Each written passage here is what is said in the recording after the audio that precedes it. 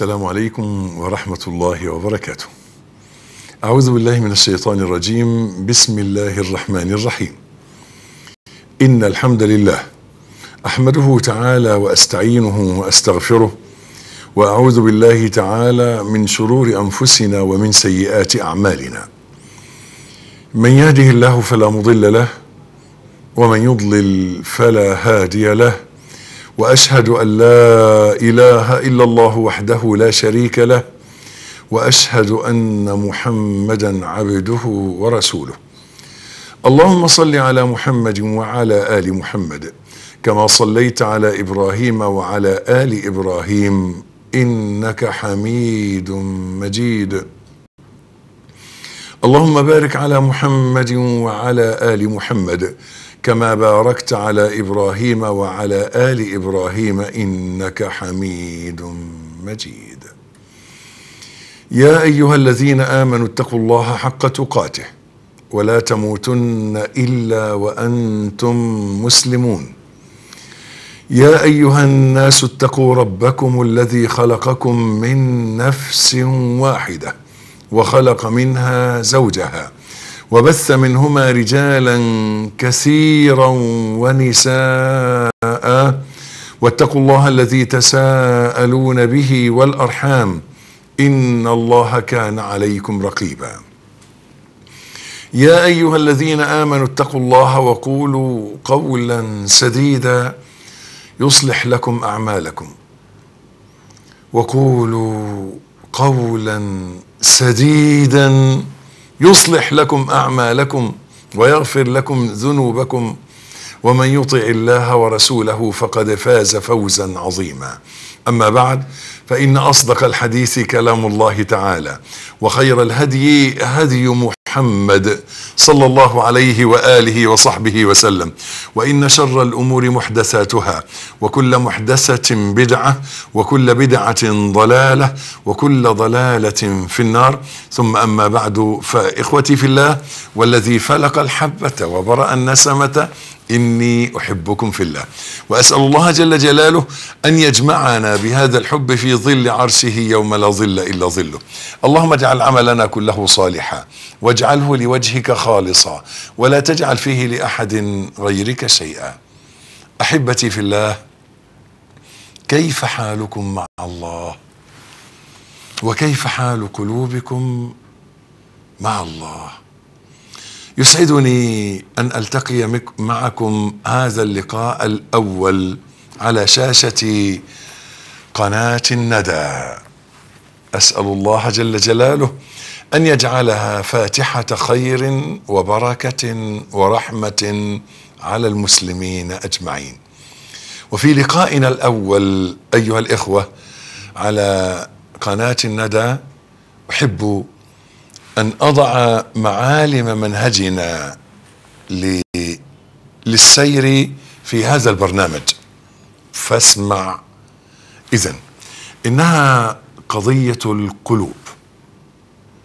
وعلم القلوب أنا أسميه علم العلوم.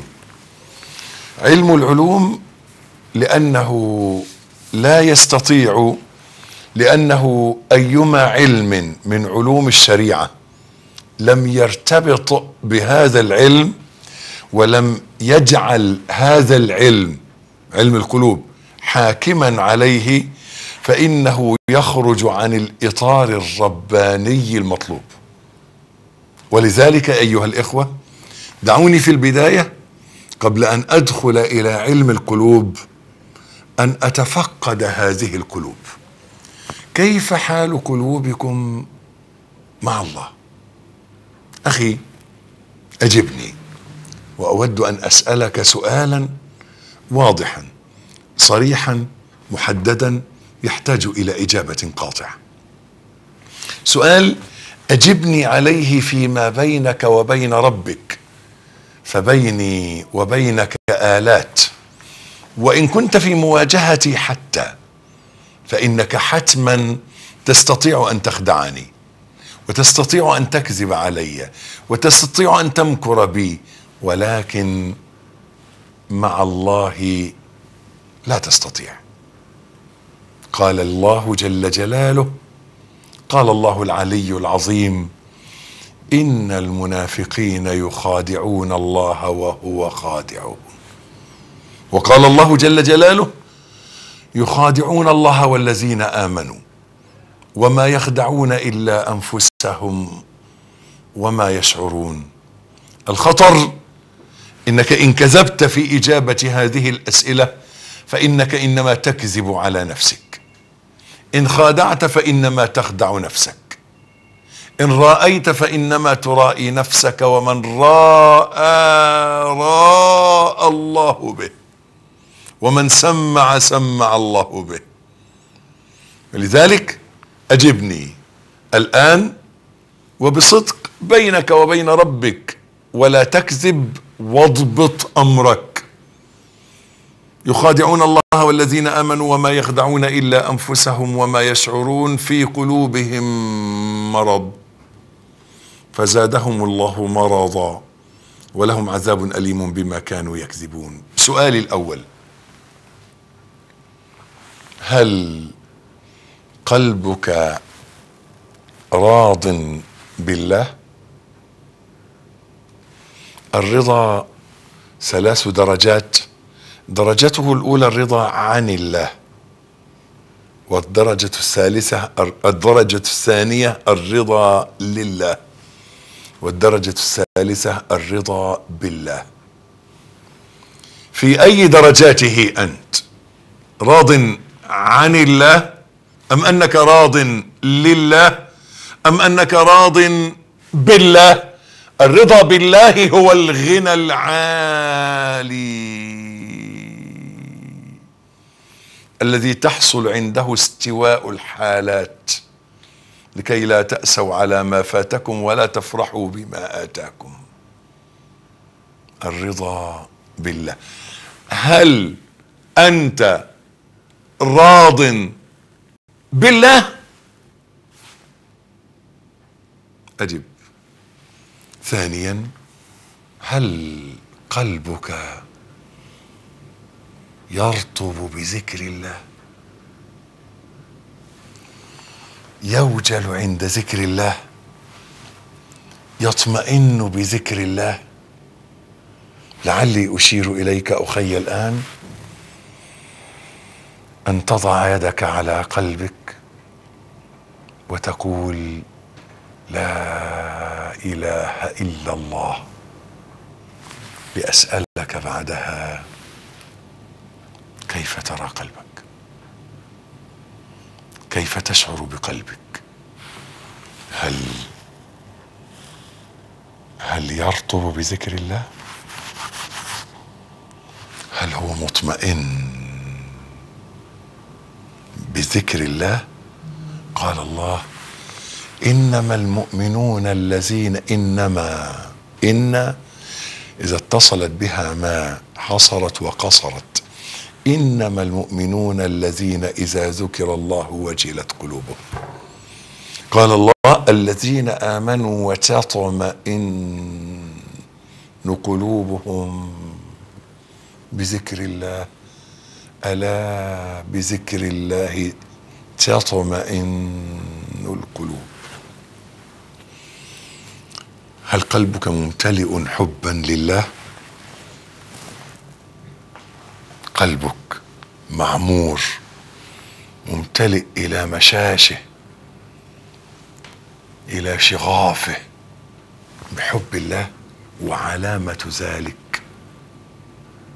ألا تحب غير الله. هل قلبك ممتلئ مملوء بحب الله بحيث أن حب الله قد استغرق. كل كل كل طاقة قلبك على الحب. فلم يعد قلبك يطيق أن يحب شيئا آخر ولا أحدا آخر ولا يلتفت فصرت غنيا بحب الله غير مفتقر إلى حب أحد سواء هل قلبك ممتلئ بحب الله.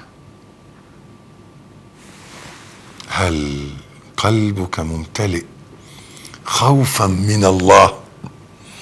فلم تعد تخشى إلا الله. هل قلبك ممتلئ رجاء في الله فلا ترجو غير الله. هل شعرت بهذه السلاسة وهي تحلق بك في آفاق الربانية حب وخوف ورجاء؟ هل قلبك معمور بهذه السلاسة مع الرضا فصرت غنيا بالله. هل قلبك خاشع؟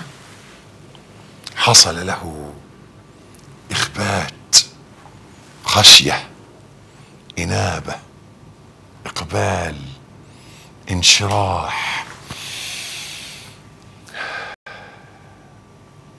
فعشت هذا المعنى العالي. قلب لين رطب مقبل منيب خاشع محب خائف.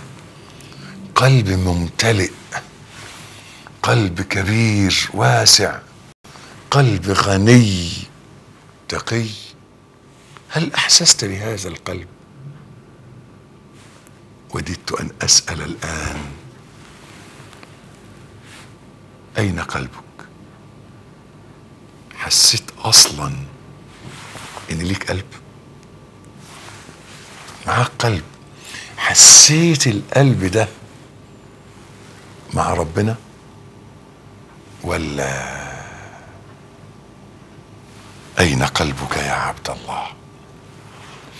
إذا لم تشعر بهذه المعاني التي ذكرتها لك راضي بالله رطب بذكر بذكر الله يوجل عند ذكر الله يطمئن بذكر الله محب لله راج لفضل الله خائف من سطوة الله مقبل منشرح هادئ خاشع منيب مخبت. شعرت بهذا القلب؟ إن لم تشعر به اذا فكما يقول ابن القيم عليه رحمة الله في طريق الهجرتين المزمع شرحه فوا أسفا ووا حسرتا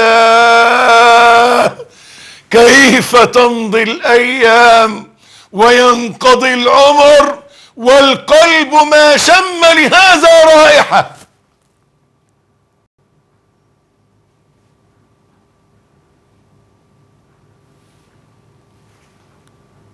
شممت لهذا رائحة؟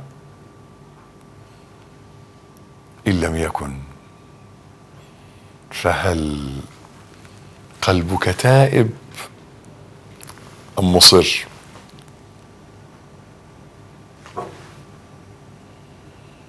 هل رزق قلبك شهوة التوبة أن تتوب من هذه الحال الردية لتتوب إلى حال مرضية. لتؤوب إلى حال مرضية. هل قلبك تائب؟ أم أنه مصر؟ إنني أريد حين سألتك أين قلبك؟ هل لك قلب؟ أن أقول هل قلبك متكبر؟ معجب. مغرور. راضي عن نفسه.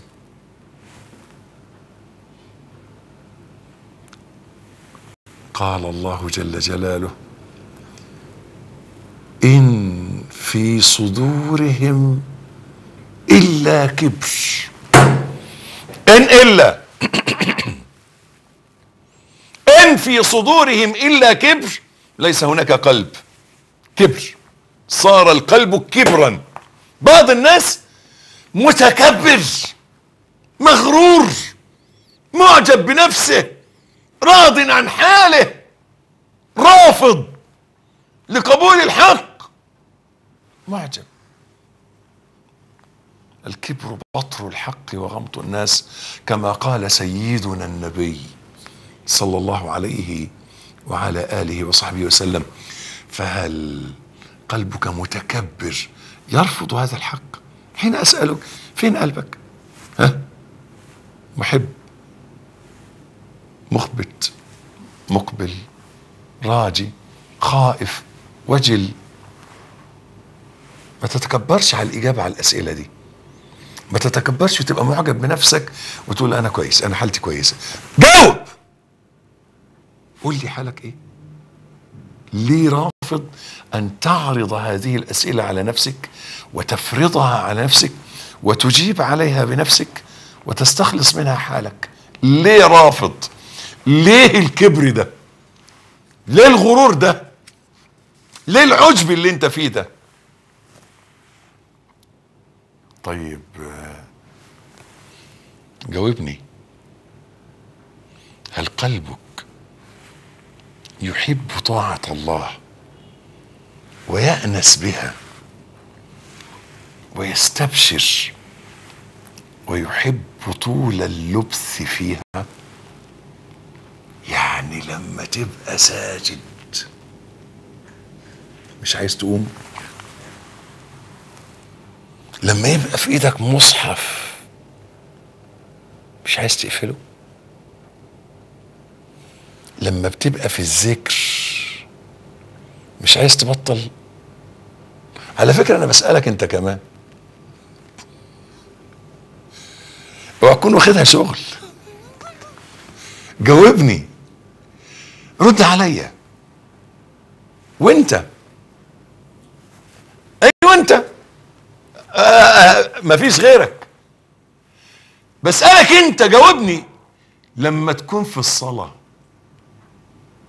مش عايز تخرج من الصلاة. لما تكون ساجد مش عايز ترفع من السجود. لما تكون في الذكر مش عايز تخلص ذكر ذكر وتبطل وتوقف مش عايز حد يقطعك لما تكون في القرآن مش عايز تنتهي من القرآن. لما تكون في قيام الليل مش عايز الليل يخلص. لما يكون نهار صيام مش عايز نهار الصيام ينتهي. لما تكون في صدقة مش عايز الفلوس تخلص.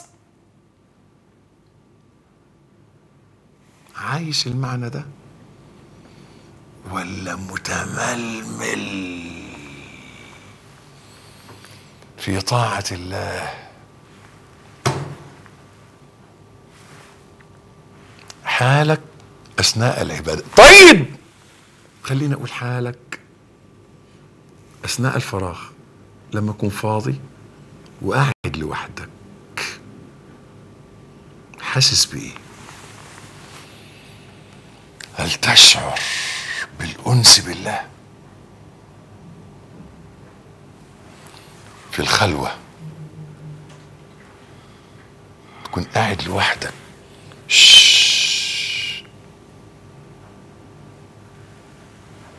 حين تهدأ الأصوات والحركات. قلبك. أنا بسأل عن قلبك والله. حاسس إن ربنا ينظر إليك منك قريب وعليك رقيب مطلع على تفاصيل خواطرك يرى ضميرك ويعلم سرك. حاسس. مش بسألك عارف ولا مش أنا بسأل حاسس. حاسس بيها دي؟ هل ذاق قلبك؟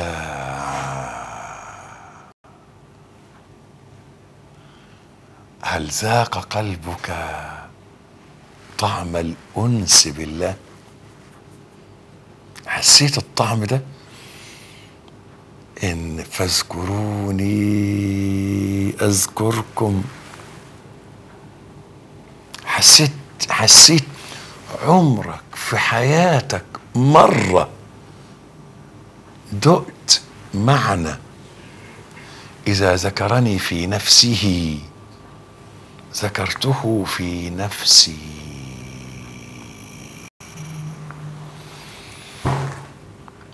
حسيت معنى ان يذكرك الله الجليل في نفسه.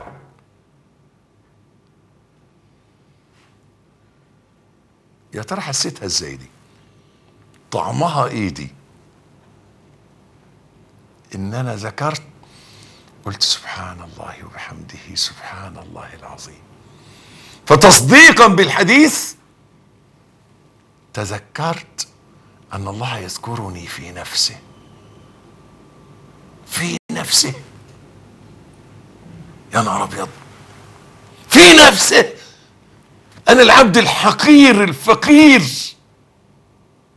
يذكرني الله في نفسه. طب عمرك دقت الحلاوة دي؟ هل ذاق قلبك طعم حلاوة الإيمان؟ سيدنا النبي صلي عليه صلى الله عليه وآله وصحبه وسلم. زيد النبي صلى صلى الله عليه وآله وصحبه وسلم. زيد صلى على النبي صلى الله عليه وآله وصحبه وسلم. لما قال من رضي بالله ربا. قال ذاق طعم الإيمان من رضي بالله ربا وبالإسلام دينا وبمحمد صلى الله عليه وسلم نبيا. ذاق طعم. يبقى اذا يا أخي الإيمان له طعم. ها? الطعم ده يداء ذاق طعم. يبقى الإيمان له طعم. والطعم ده يداء ذاق. طعمه إيه؟ الإيمان. لما دقته طعمه إيه؟ إيه طعم الإيمان؟ يا ترى طعمه إيه؟ أخبرنا رسول الله صلى الله عليه وسلم صلى عليه صلى الله عليه وآله وصحبه وسلم إن طعمه حلو. قال صلى الله عليه وسلم ثلاث من كن وي من كن فيه وجد بهن حلاوة الإيمان.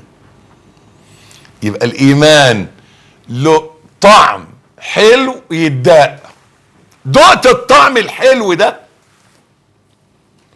أصله ما بيداش باللسان ولا في الحلق. ده بيداء بالقلب. يبقى القلب ده بيدوق. دي وظيفة من وظائفه أن يتذوق. عشان كده لما يقول فضيل الشيخ أبو إسحاق ربنا يكرمه إن إعجاب الناس بالباطل اليوم لفساد أذواق الناس. فساد الأذواق ده مش إن بيدوقوا بلسانهم ولا بيدوقوا بدماغهم لا ده فساد القلوب. لفساد القلوب القلوب لما فسدت أعجبت بالباطل انبهرت بالفحشاء رضيت بالفسق والفجور حين فسدت القلوب لأن هذه القلوب ما دقتش. الطعم الحلو ما شافتش الطهارة والنظافة لو داقت الحاجة النظيفة تستنكف من الأشياء القذرة. لكن الإشكال الكبير اللي ما دقش يقول عدس. ما يعرفش. مش عرفه. هل ذاق قلبك حلاوة الإيمان؟ هل ذاق قلبك لذة الطاعة؟ لذة الطاعة.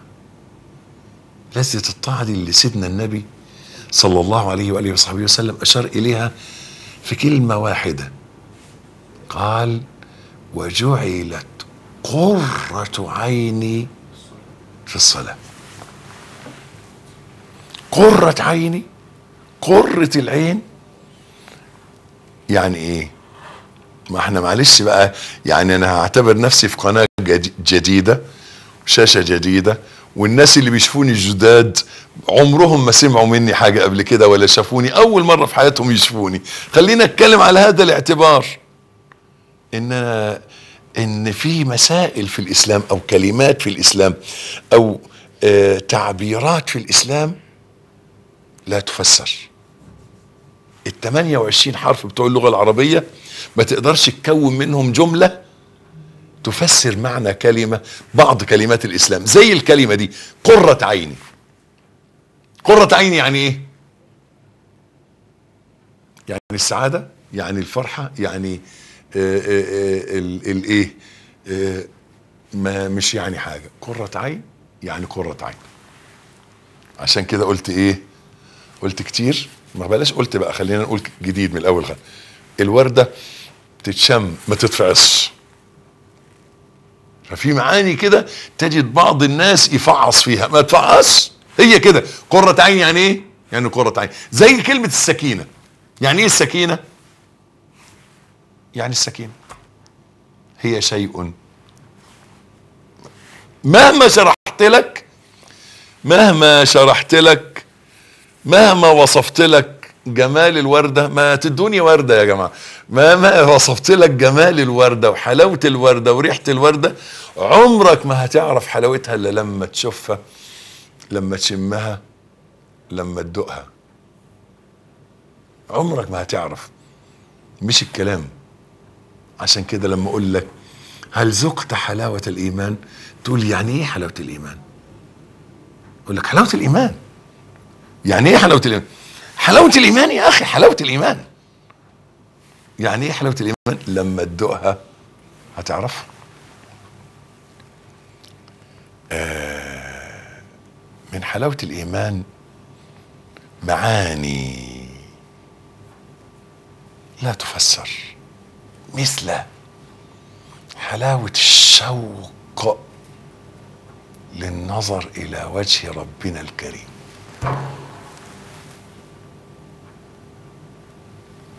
يعني هسألك قلبك في مرة حسيت إنك مشتاق إن إنك نفسي نفسي أنظر إلى وجه ربي. حسيتها دي؟ شوق. شوق. نفسك في إيه؟ نفسك في إيه؟ نسيت أسأل الجماعه المصورين الجداد بتوعنا دولك عن أسمائهم النهارده. أول حلقة بقى. سا ع... ع... عوني وتوني. أنا قاعد فين أنا مش عارف والله. صلى على الرسول صلى صلى الله عليه وسلم. زيد النبي صلى صلى الله عليه وآله وصحبه وسلم. زيد صلى على النبي صلى الله عليه وآله وصحبه وسلم. آه مشتاق لإيه؟ نفسك في إيه؟ مشتاق مشتاق. عارف عارف لما أقول لك يا دي علوي مشتاق مشتاق تقول لي يعني إيه مشتاق؟ مفيش حد بيقول يعني إيه مشتاق. يعني هو دلوقتي قاعد على الكرسي ده من الساعة 8 الصبح لحد دلوقتي نفسه ينام يفرد ظهره. هي دي مشتاق. حصل لقلبك الشوق ده. تشوف ربنا. يا ناس نفسه يقعد مع الشيخ أبو إسحاق ساعة. مثلا يعني الله يكرمه. أو الشيخ محمد حسان نفسه يزوره ويقعد معاه ساعتين. أو يقضي معاه يوم. صح كده؟ نفسك دي حصلت. إنك نفسك تنظر إلى وجه الله الكريم. حصلت. نفسك دي وردت على الخاطر كده. جت. حصلت. ولا. ادي أنت عايش وخلاص. قلت لي التاني مين؟ آه سؤال. هل قلبك مشحون؟ بهم الآخرة أم بهم الدنيا؟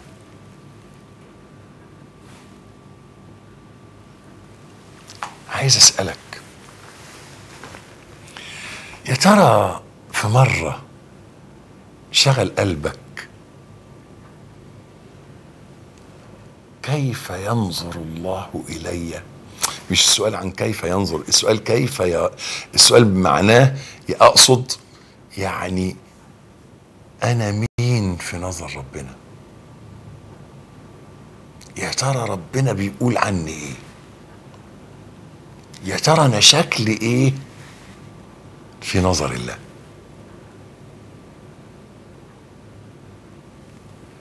ياما ناس كتير مننا مشغولين الناس بتقول عني إيه؟ الناس شايفاني إزاي؟ ويفضل يتجمل ويظبط نفسه ويظبط أحواله. ويجمل كلامه ويجمل ردود أفعاله ويجمل تصرفاته عشان الناس. الناس. اللهم استرنا ولا تفضحنا. لكن هل في مرة شغلك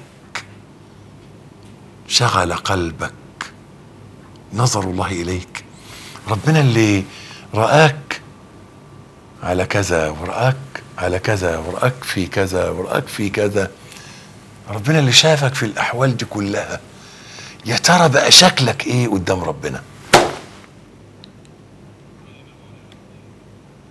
يا ترى آه بقيت مين؟ وربنا قضى فيك إيه؟ وأنذرهم يوم الحسرة. إذ قضي الأمر وهم في غفلة. إنك قاعد مشغول بالفلوس والشقة والبيت والأقساط والناس النسوان العيال و و و و و والشغل والأصدقاء والأعداء. ونسيت ربنا. نسوا الله فنسيهم نسيت قاعد تفكر إنك أنت مراتك تحبك وزمايلك يحبوك والجيران يحترموك والأصدقاء يقدروك والناس يرفعوك ونسيت. يا ترى أنت عند الله مكرم ولا مهين؟ ابن القيم بيقول إيه؟ في منزلة المحاسبة في المدارج. وكم من مغرور بستر الله عليه. معجب بقضاء الله حوائجه. مفتون بثناء الجهال عليه. وهو عند الله ملعون ولا يشعر. مغرور بستر الله عليه اللهم استرنا ولا تفضحنا. اللهم أسبل علينا سترك الجميل واجعل تحت الستر ما ترضى به عنا.